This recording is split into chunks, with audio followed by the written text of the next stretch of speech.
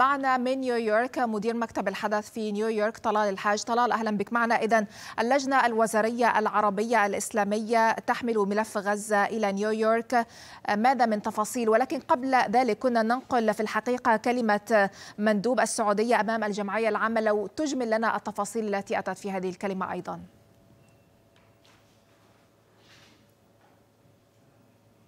في واقع الأمر كنت معكم على الهواء عندما كان يتحدث السفير عبد العزيز الواصل أو الدكتور عبد العزيز الواصل داخل الجمعية العامة ضمن إطار جلسة حول فلسطين.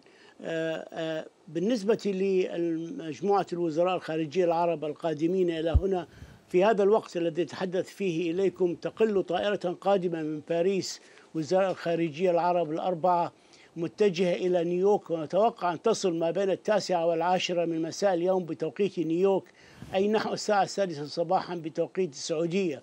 وزراء الخارجية هم وزراء خارجية المملكة العربية السعودية التي ترأس لجنة الثمان المنبثقة من القمتين العربية والإسلامية في الرياض في الحادي عشر من نوفمبر الجاري ووزراء خارجية مصر والأردن وفلسطين. مجموعة الثمان المنبثقة عن القمتين تضم أيضا قطر وتركيا وأندونيسيا ونيجيريا. الوزراء الأربعة سيحضرون جلسة مجلس الأمن حول الشرق الأوسط يوم غد الأربعاء ويلقون بكلمات من خلالها وبحضور وزير خارجية الصين وانغ يي ووزير خارجية البرازيل ووزراء خارجية تركيا وأندونيسيا بالإضافة إلى وزراء خارجية ماليزيا وسلوفانيا. بالإضافة أيضا إلى اللورد أحمد وزير الدولة في بريطانيا لشؤون الشرق الأوسط. وربما وزراء خارجية آخرون حضروا هذه الجلسة يوم غد وهي جلسة وزارية كما تفضلت. الاجتماع الشهري والدوري هذا لهذا الشهر حول القضية الفلسطينية يكتسب أهمية كبيرة جدا. وذلك لأن القرار المالطي الأخير الذي أقر في الخامس عشر من نوفمبر الجاري ويحمل رقم 2712 الذي صدر بموافقة أو بتأييد 12 دولة وامتناع ثلاثة الدول عن التصويت هي روسيا والولايات المتحدة وبريطانيا. يحتم في نصه على الأمين العام أن يقدم تقريرا شهريا وافيا عن مدى تطبيق الأمين للقرار 2712 بتطبيق هدنات إنسانية تمتد لأيام وتتحول فيما بعد إلى وقف دائم لإطلاق النار. طبعا إسرائيل من خلال سفيرها في, مج... في, في الأمم المتحدة جيلاد أردان رفض هذا القرار. وفي نفس الجلسة التي صدر فيها في الخامس عشر من نوفمبر وقال إنهم لن يطبقوا هذا القرار. لنرى ماذا سيحدث وماذا سيقول تقرير الأمين العام غدا الأربعاء بوجود كل هؤلاء الوزراء وماذا سيكون رد أعضاء رد فعل أعضاء مجلس الأمن على ذلك على ذلك عدم التطبيق من قبل إسرائيل.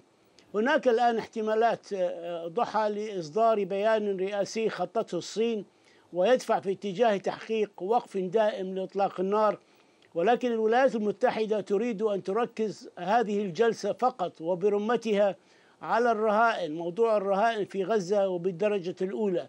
هناك احتمال أيضا لبيان أمريكي حول الرهائن بصورة خاصة ولكن كل هذه الأمور لم تتحدد بعد وفقا لعلمنا لحتى هذه اللحظة. أما مشروع القرار العربي الذي تحدثنا عليه يوم أمس في, في على شاشة قناة الحدث وهو مشروع قرار إنساني خطته دولة الإمارات العربية المتحدة ممثلة للمجموعة العربية في مجلس الأمن ويعنى بالدرجة الأولى بكيفية زيادة المساعدات الإنسانية إلى كافة أنحاء غزة. المجموعة العربية اجتمعت اليوم مع الدول العشر غير دائمة العضوية في مجلس الأمن قبل ساعتين من الآن على مأدبة غداء في مقر البعثة الإماراتية وذلك لمناقشة مشروع القرار الإماراتي والحصول على تأييد الدول العشر غير دائمة العضوية لمشروع القرار نعم. الإماراتي قبل أن يعرضوه على الدول الخمس الدائمة العضوية لكنني أستطيع أن أؤكد لكم أن مشروع القرار الإماراتي لن يقدم للتصويت في جلسة مجلس الأمن يوم غد الأربعاء وما زال قيد التفاوض بين الأعضاء في المجلس ما نسمعه وضحى من مصادرنا أن الوزراء الأربعة سيلتقون وزير خارجية الصين وانغ يي ووزير خارجية البرازيل وكذلك الأمين العام غوتيريش وذلك في تمام الساعة الرابعة عشر بتوقيت غرينتش. وتدرس الآن مجموعة الثمان احتمال إصدار بيان قوي اللهجة عن اجتماعهم بغوتيريش.